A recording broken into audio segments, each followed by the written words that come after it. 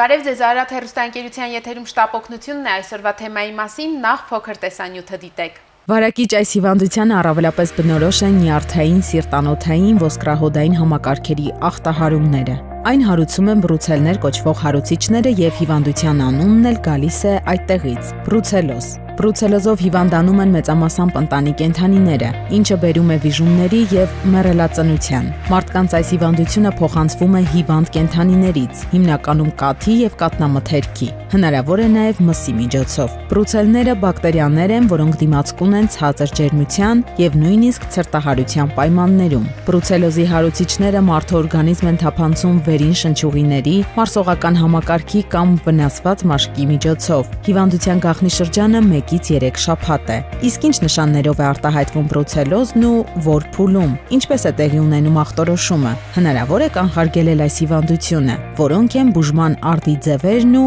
որքան արդյունավետ են դրանք։ Եվ այսպես հարգելի հեռուստադիտողներ, այսօր մենք շարունակում ենք բրուցելիոզի թեման, կրկին մեր տաղավարում է վարակաբան Անահիտ Մկրտչյանը, փորձենք հասկանալ, թե ինչպես է տեղի ունենում բրուցելիոզի ախտորոշումը եւ բուժումը։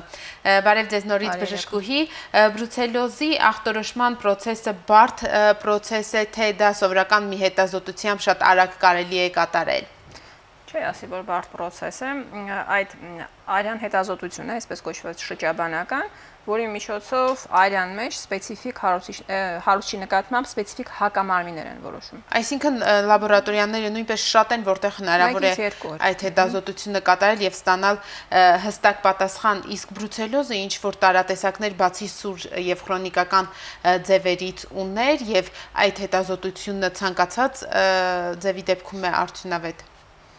այդ հետազոտությունը շատ լավ հարց է այն առումով որ մի բան է ստանալ արդյունք, մյուս բանն է դա պետք է համադրել կլինիկական ախտանիշների հետ, որպեսզի կողմնորոշվել հիվանդի մոտ արդյոք ակտիվ process կա բրուցիլոզի,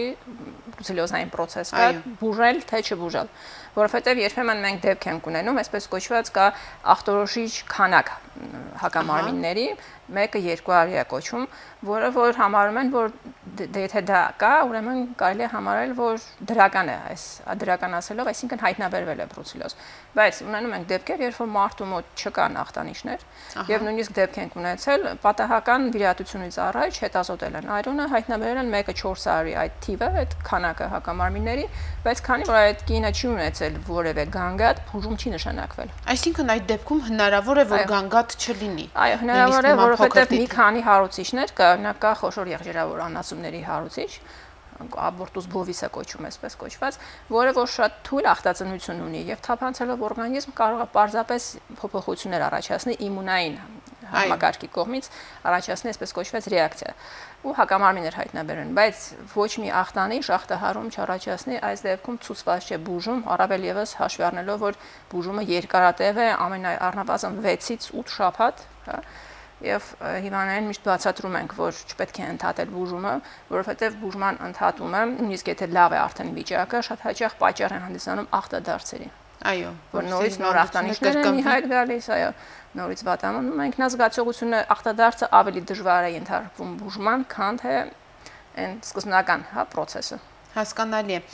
Փաստորեն ես որքան պատկերացրեցի, հնարավոր են դեպքեր, որ մարդը այսպես ասած այդ վարակի խնդրի կրողը լինի, բայց դա չարտահայտվի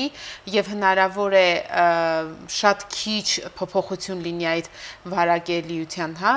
ծավալի, վարակակրության ծավալի եւ դա արտահայտվի։ Եվ եթե արդեն բժիշկ վարակաբանը ըստ այդ ստացված թվի հետազոտության, հա, լաբորատոր անալիզի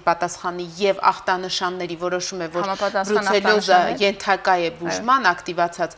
վիճակ է, անցնում է բուժական գործողություններին, որոնք են դրանք։ Դա դեղորայքային եւ նաեւ այլ միջամտություններ նույնպես պետք է լինեն նկատի ունեմ սննդակարգը, կենսաձևի փոփոխությունը, ինչ պետք է անի մարդը այս դեպքում։ Հիմնականը դա հակաբակտերիալ բուժումն է եւ ասեմ որ բավականին սահմանափակ են այդ հակաբակտերիալ դեղամիջոցները, որոնք արդյունավետ են բրուցելոզի դեպքում։ Եվ պետք է ճիշտ կուրսով նշանակվեն։ կա բժշկուի մի քանի հակաբիոտիկներ կան, որոնք հակաբիոտիկները շատ են, բայց ոչ բոլորն են ազդում այդ բրուցելոզի հարուսի վրա։ Դա հիմնականում տետրացիկլիններն են, ռիֆամպիցին, ֆտորքինոլաններ եւ սուլֆանիլամիդներ, քիչ է նեղ է սպեկտրը ընդրության եւ կարեւորը որ հիվանդը ինքնուրույն չընդհատի այդ բուժումը շատ հաճախ դեպքեր շատ հաճախ չասեմ բայց դեպքեր են ունենում որ երբ որ մեր հիվանդը մտածում է արդեն լավ եմ ինչ իմաստ ունի շարունակել մտածում են իբր լյարդին վնաս կլինի եւ այլն ինքնուրույն դադարեցնում են հետո անցնում են մի քանի ամիս կամ տարի զանգահարում են թե լավ չենք զգում նորից ախտանիշներ են առաջացել եւ այլն Այսինքն սա էլ շատ կարևոր պայման է, ինչպես հակաբիոտիկների ընդունման դեպքում, որ քանի անգամ օրվա մեջ նշանակեց բժիշկը եւ ինչ դոզավորմամբ եւ քանի օր դա պետք է կատարի։ Այո սնդակարգ առանձնապես չկա, ինչ են խորհուրդ տալիս։ Ասեմ, որ վերջին 10 տարին, եթե չասեմ ավել, արդեն պրոֆիլակտիկ նպատակով հակասնկային դեղամիջոց չեն կիրառում որը որ չնայած շատ մասնագետներ շարունակում են նշանակել հակաբիոտիկների հետ մեկտեղ հակասնկային դեղամիջոցներ են նշանակում, ինչ են խորհուրդ տալիս հիվանդներին։ Այսպես կոչված հակասնկային դիետա, ճակերտավոր հակասնկային, այսինքն կարտնաբուսական սննդամթերք։ Խորհուրդ ենք տալիս քաղցրը սահմանափակել, հա, ինչ որ շատ շաքար է պարունակում եւ ալյուրից է պատրաստված խմորեղենը սահմանափակել, քանի որ սենկերը նախընտրում են քաղցր միջավայր։ Եվ խորհուրդ ենք տալիս կատնաթթվային դիետա, այսինքն պարտադիր մածուն օգտագործել այդ կատնաթթուն վատ միջավայր է սենկի համար եւ բուսական սնունդ, այսինքն առատ բանջարեղեն եւ նաեւ խորհուրդ ենք տալիս տավարի միս, որովհետեւ հետաքրքիր է բժշկի աղների կողմի դիսֆունկցիա։ Ահա, քանի որ հիվանդությունը հենց կատնամթերքից ոչ լավ մշակված, հա, չերացրած կատնամթերքով ճանապարհով է, հա, փոխանցվում, բայց դիետայի դեպքում կատնամթերք եք խորհուրդ տալիս, որպեսզի սնկերին ճնշենք այնտեղ շատացող, բայց մարդիկ հնարավոր է որ տարակուսանքի մեջ մտնեն, ասեն ես պայքարում եմ նրա դեմ եւ նորից մուտք ապահովեմ, հա, թե թեկուս մտածածի ինչն է դուք նշել եք, որ եթե երացրած է, եթե ստերիլացված է, արդեն որևէ խնդիր լինել չի կարող։ Հիմնական նշանակում ենք կատնամթերքից, այսպես կոչված, խորհուրդ ենք տալիս մածուն, որը կատնաթթվային բակտերիաները պարունակում։ Իսկ մածուն ստանալու համար կաթը պետք է երացնել, ուզեն թե չուզեն։ Իսկ հենց որ կաթը երած, ակնթարթորեն հարուցիչը ոչնչանում է։ Եթե մարդու մոտ հարց է առաջանում, մենք բացատրում ենք, որ մածունը անվտանգ է տարումով եւ հնարավոր չի որ մարդը մածունից վարակվի բրուցիլոզով հասկանալի է։ Խնդրում եմ ասեք, իսկ կենթանիներին, որոնք բրուցելիոզի կրողներ են եւ կարող են փոխանցել հիվանդությունը, կա ինչ որ տարբերակ իհարկե դուք անասնաբույժ չեք, բայց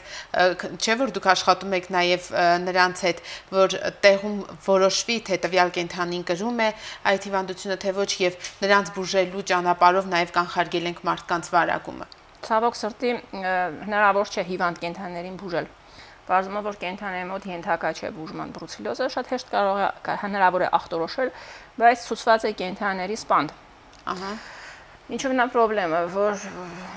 քանի որ գյուղացու շատ հաճախ միակ միջոցն է լինում ընտանիք պահելու, հա, եւ ասենք մեկ կով ունի եւ նա սկսում է թաքցնել, որ նա կենթանու մոտ բրուցիլոզ կա եւ այլն, չնայած դժվար է շատ դարձել դա, որովհետեւ այդ հսկողությունը անասնաբուժների կողմից սկսել են արդեն ավելի ակտիվ ձևով կազմակերպել։ Նաեւ ախտանշաններն են երևի նման լինում այդ հոդերի։ Նման են, այո, եւ հոդերի բորբոքում է լինում անասունների մոտ առավել հաճախ, եթե էք է կենթանին, այդ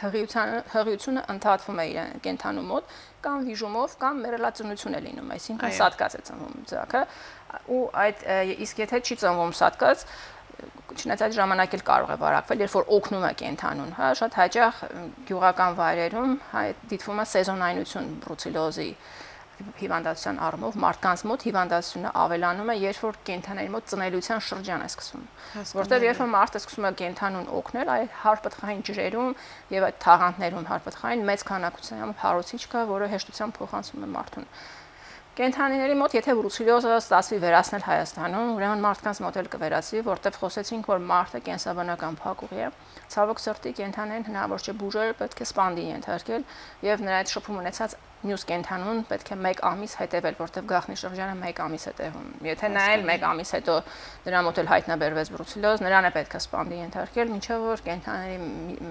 միջավայրում մաքրվի, այսպես ասած, այսինքն վերանա